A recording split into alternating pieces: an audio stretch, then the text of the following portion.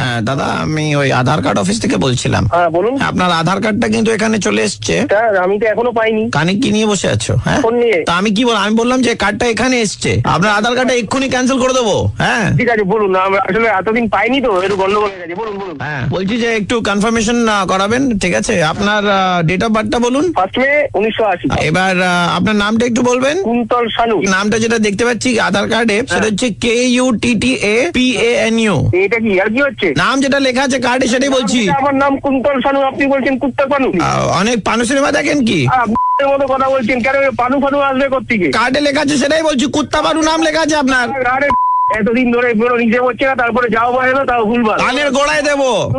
যদি আপনার আপনার বাড়িটা কোথায় বলুন তো? আপনি কোথায় থাকেন? বাড়ি কি আমার অফিসে চলে আয় সালা অফিসে আয় সালা আই শোন বউয়ের ডেট অফ বার্থ কি? তেরো ছয় উনিশশো আশি। সোমা শানু বইয়ের নাম। এখানে লেখা আছে N O M A P N U নোমা পানু। আবার দেখেছে হাল ঘিরে দিয়েছেন পুরো। এক মিনিট এক মিনিট আপনার বিয়ের ক বছর হয়েছে? তিন বছর হয়েছে। বাচ্চা তো হয়নি এখনও? না। তো নাম তো ঠিকই আছে নোমা মানে মা হয়নি নোমা পানু। আরে আপনি যা ইচ্ছা তাই বলে যাচ্ছেন মা হয়নি বলে নোমা পানু কারও নাম হতে পারে না। যে আপনারা কাজ করছেন না না আপনি এত গালাগাল দিচ্ছেন দাদা এটা ঠিক নয় কিন্তু। গালাগালি দিচ্ছে কেলাইনি কে কেলাবো পাড়া থেকে ছেলে নিয়ে গিয়ে এবার। নিজের ক্ষমতা নেই না? সরকারি কর্মচারী মাইনে নিচ্ছে ঘুষ নিচ্ছে তারপরে কুন্তল শানুকে কুত্তা পানু আর সোমা শানুকে বলে দিচ্ছে নোমা পানু।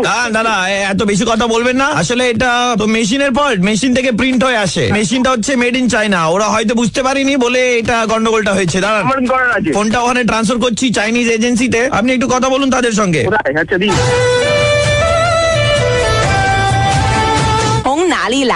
说中国话难不难？ কি বল কিছুই বুঝলাম না 从哪里来？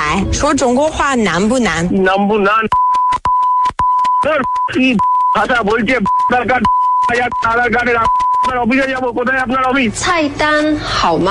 给我冰水好吗？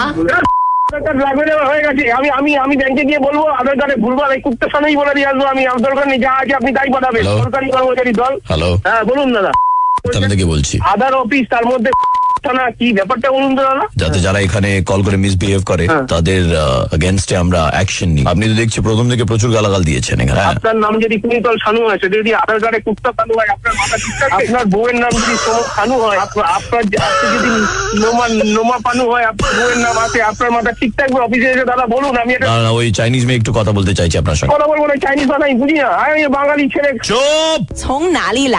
说中国话难不难？ আমি কুত্তা বানু আমার বউ নোমা বানু আর এবার খুশি তো? এবার ঠিক আছে